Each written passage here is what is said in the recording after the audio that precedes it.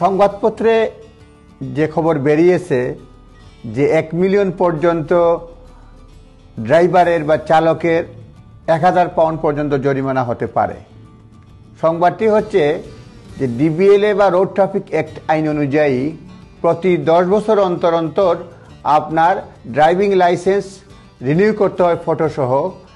এই সংখ্যা একটা ফ্রিডম অফ ইনফরমেশন অ্যাক্টের অধীনে একটা সংস্থা রিকোয়েস্ট করে তথ্য পেয়েছে, নয়শো হাজারেরও বেশি মানুষ দশ বছরের বেশি সময় হওয়ার পরও তাদের ড্রাইভিং লাইসেন্স রিনিউ করে নাই আপ টু ডেট ইনফরমেশন এবং ছবি দিয়ে।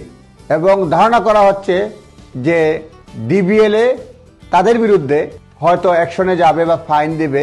এখন ডিবিএলএ বলেছে তারা এখনও দেরি হলেও এখনও তাদের বিরুদ্ধে তারা ফাইন করবে না। কিন্তু এটা রিস্ক রয়েছে। অলরেডি ডিবিএলএ চিঠি পাঠিয়েছে। অনেক লোক হয়তো ড্রাইভার লাইসেন্স বা ড্রাইভিং লাইসেন্সের জন্য যে লাইসেন্সের যে অ্যাড্রেস রয়েছে সে অ্যাড্রেস মুভ করে ফেলছে চেঞ্জ করে নাই। তাদের জন্য প্রবলেম হতে পারে, এই লেটার হয়তো নাও পেতে পারেন। সেই জন্য বলা হচ্ছে যে এক মিলিয়নের মতো মানুষ ড্রাইভিং লাইসেন্স অফেন্সের জন্য রিনিউ করার দশ বছর পার হয়ে যাওয়ার পরও রিনিউ না করায় তাদের এক হাজার পাউন্ড পর্যন্ত ফাইন হতে পারে। আইন অনুযায়ী প্রত্যেক ড্রাইভার প্রতি দশ বছরে এটা রিনিউ করবে সব ইনফরমেশন দিয়ে, আর যাদের বয়স সত্তর বছরের উপরে, তারা প্রতি তিন বছর পর পর ড্রাইভিং লাইসেন্স রিনিউ করবে। কারণ তাদের চলাফেরা, দেখা বা শারীরিক অনেক ক্ষমতা অনেক ক্ষেত্রে কার্যকর থাকে না যথাযথ, সেটাও টেস্ট করার জন্য বিধান রয়েছে। সেই জন্য প্রতি তিন বছর পর পর সত্তর বছরেরও অধিক মানুষের বয়স্ক ড্রাইভারের রিনিউ করতে হয়। এবং এটা করা খুবই জরুরি।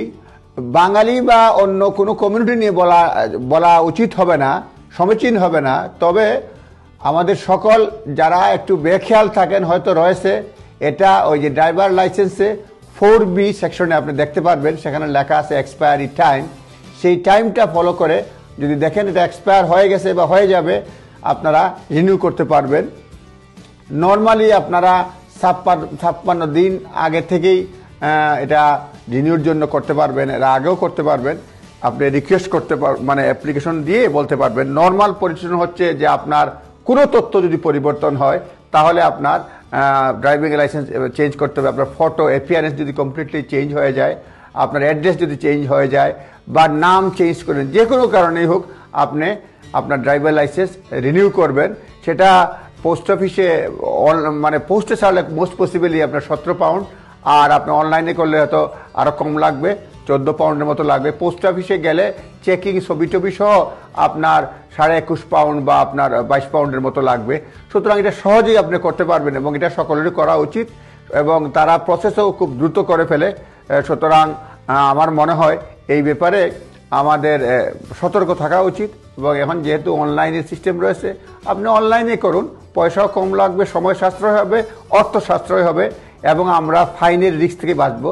যদিও ডিবিএল এই মুহূর্তে বলেছে যে তারা এই মুহূর্তে তারা ফাইন দিচ্ছে না কিন্তু ইচ্ছে করলে পারবে রোড ট্রাফিক অ্যাক্ট অনুযায়ী।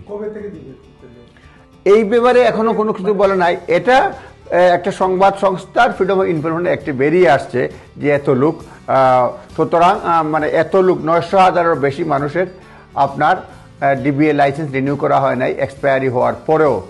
সুতরাং এটা এখন যে কবে থেকে ফাইন ইস্যু করবে, যে কোনো সময় তারা করতে পারে।